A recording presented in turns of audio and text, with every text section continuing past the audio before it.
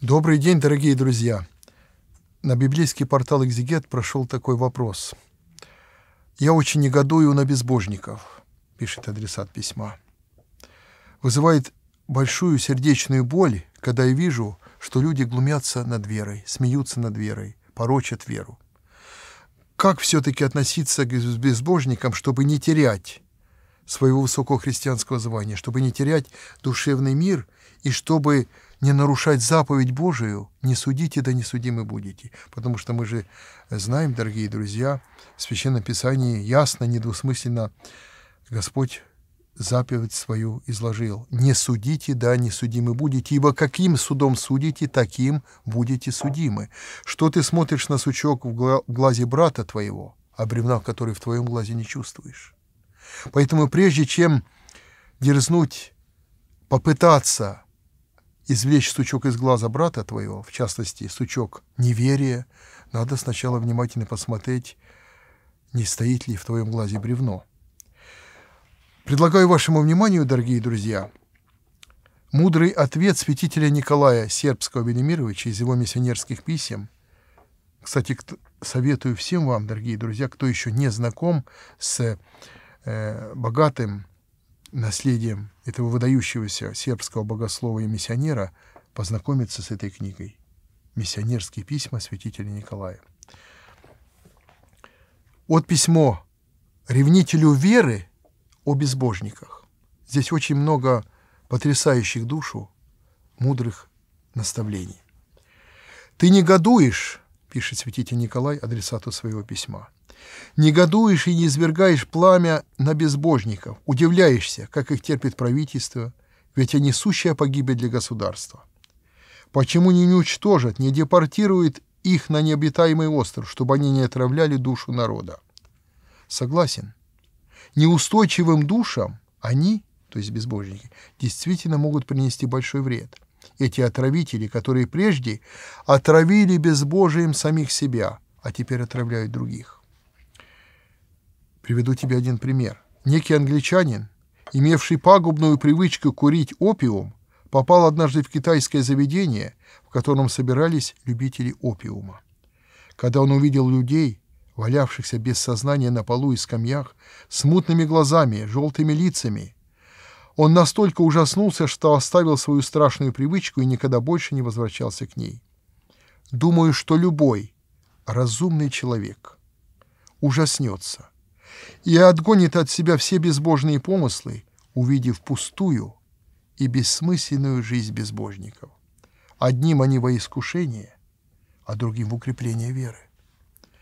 Кто-то ищет света, потому что знает его благотворное влияние света, а кто-то ищет света, упоявшись мрака. Обратите внимание на это, на это э, мудрое замечание святителя Николая, что можно стремиться к свету, чтобы избежать мрака, убежать от мрака, ужаснувшись мрака. Но прежде всего мы должны понимать, что безбожники не просто вредители, они люди, причем самые обделенные среди людей. Их души отравлены ядом неверия. Они беднее всех. Ибо если другие нищие, ну, имеется в виду телесно нищие, не имеющие хлеба, одежды, земли и здоровья, имеют в своем сердце Бога, дародавца всех даров, имеют упование на Господа, своего Творца, то эти несчастные не имеют этого. Не имеют они драгоценного имения, которое могут и должны обладать все сотворенные Богом люди. Они не имеют Бога. Поэтому мы должны относиться к ним с жалостью, а отнюдь не с ненавистью. И приводит святитель Николай Сербский слова из Послание к римлянам святого апостола Павла. «Ибо и Христос, когда еще мы были немощны, в определенное время умер за нечестивых». Послание к римлянам, 5 глава, 6 стих. Здесь напоминает нам святой апостол Павел, что и мы когда-то были немощны, но Христос умер за нас. То есть Христос не презрел нас. Он пришел в этот мир, чтобы э, призывать не праведников, а грешников к покаянию. И вот, приводя эту цитату, святитель Николай Сербский как бы хочет подвигнуть адресата своего письма, что мы не должны относиться с ненавистью к безбожникам, иначе какие же мы христиане? если мы ненавидим тех, кто Бога не знают, кто обделены в самом абсолютном смысле этого слова.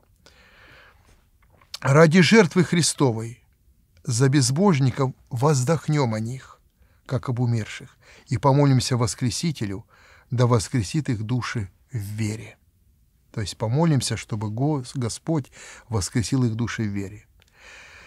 И дальше очень удивительное наблюдение. И, собственно, дорогие друзья, мы все, если внимательно посмотрим на окружающую жизнь, мы убедимся в справедливости этого наблюдения святителя Николая. Если безбожники влияют на тех, кто не тверд в вере, то и верующие влияют на безбожников. Под влиянием примера, советов и молитв и любви многие-многие неверующие обратились подобно тому, как потерявшие сознание возвращаются к жизни. Горько раскаялись в своем безбожии и стали истинными христианами. Обращаю ваше внимание, дорогие друзья, э, святитель Николай, Николай в первую очередь обращает внимание не на слова, вот смотрите, под влиянием примера, собственно, жизненного примера, потом уже советов, молитв и любви. Иной раз нам кажется, что наши слова должны бежать впереди дел, да, сами еще порой ну, что греха таить, не живем еще так, как следует. Жизнь свою духовно не упорядочили, а вот советы мы готовы давать всем и вся. И это особенно касается таких вот новоначальных христиан. Есть такая болезнь, как бы неофитская ревность, не по разуму. И это я говорю, дорогие друзья, отнюдь не с целью кого-то обидеть или огорчить. Это горькая констатация э, так сказать, правды, да, есть такая неофитская болезнь. Только-только человек в сознательном возрасте обратившись к Богу, тут же, читая что-то в Священном Писании, применяет это не к себе, а к своим близким. Дай-ка я вот сделаю замечание там своей теще, своим там отцу, матери, там братьям, племянникам. Дай-ка я буду всех сейчас направлять на правильный путь, да, буду светочем для других. А вот здесь святитель Николай обращает внимание, что верующие тоже влияют на безбожников, но в первую очередь своим примером, а потом уже советом, молитвой и любовью. И далее он э, продолжает, что безбожие тех, кто обратились, даже принесло им пользу, ибо служит укором, уязвляет совесть, отвращает неразумного прошлого и толкает вперед к вере к Богу. Насколько я знаю, мало тех, кто остается в безбожном окаменении навсегда, в ком никогда не высеет свет веры. Впрочем, разве эти несчастные нормальные люди? Царь Давид, царь и пророк Давид говорит, «Рече безумен в сердце своем, несть Бог».